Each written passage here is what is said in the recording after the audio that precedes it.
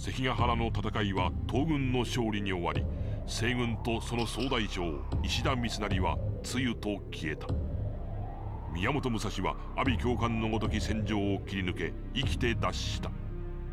だがその眼前には西軍の残党狩りを名目に村を襲う山賊がいた。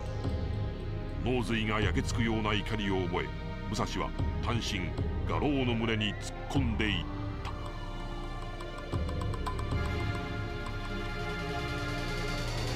人斬りの剣だ。てめえらのは剣格じゃねえ。第2話村落救出戦。剣の道極めてやるぜ。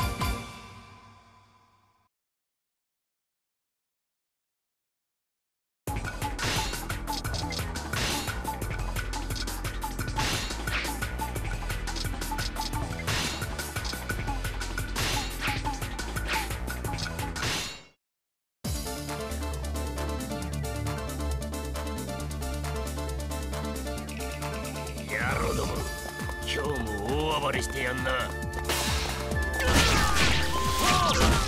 どなたか村をお助けください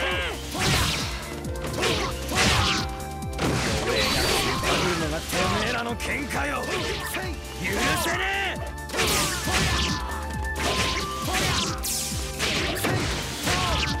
おとなしくすると命は出るぞ。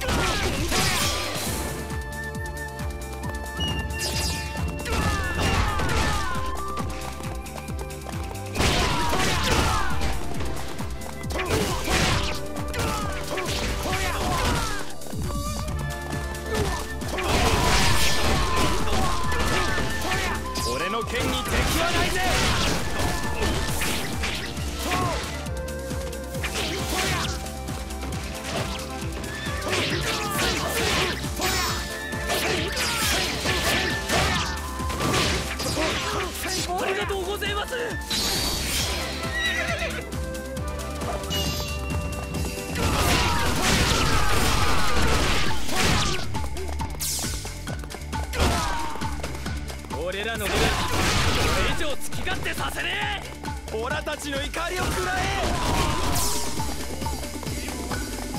あこら無茶すんじゃねえ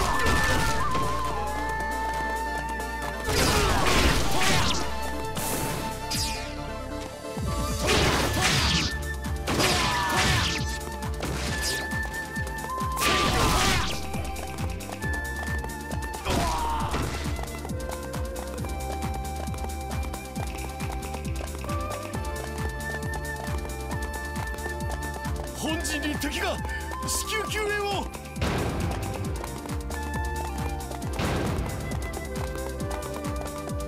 かかっ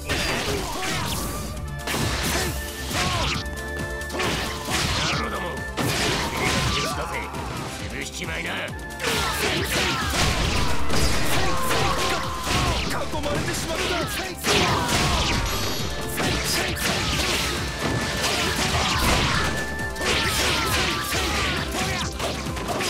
誰かお助けください。勇者死ねえぜ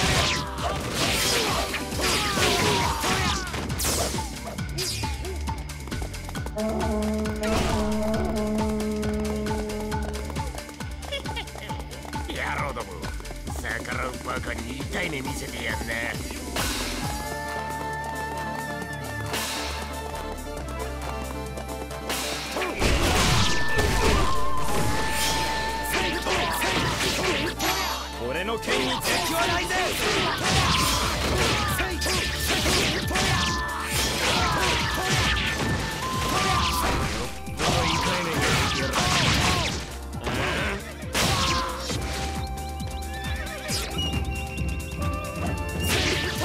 村のためここで逃げ出すわけにはいかねえよし野郎ども。有り金全部いただいちめえ。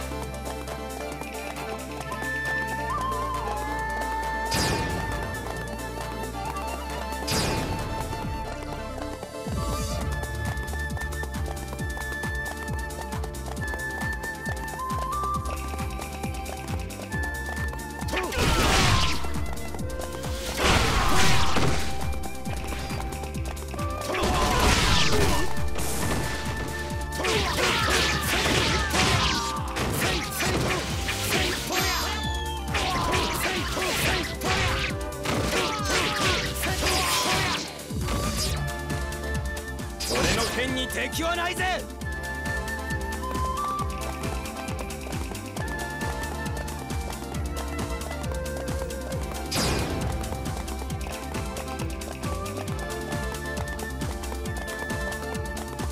いざ戦おう野郎ども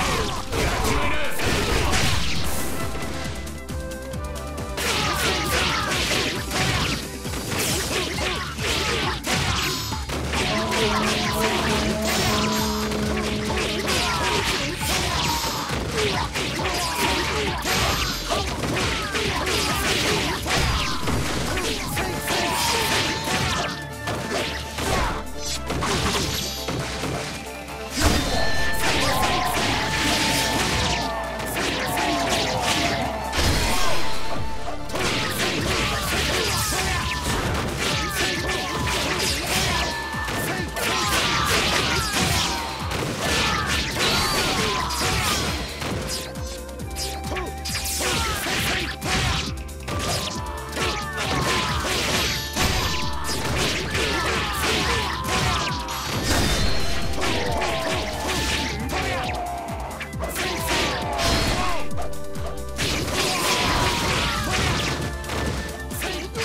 剣に敵はないぜ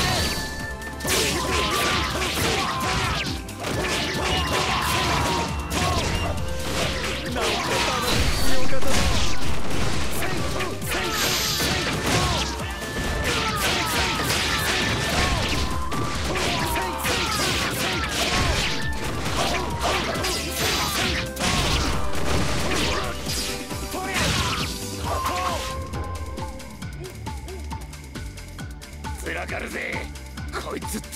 強すぎだ敵将討ち取ったり。ありがとうございます。旅のお方。村はでも結局俺のも俺より弱いやつを切るだけの剣か俺は俺は剣で人を生かしたい。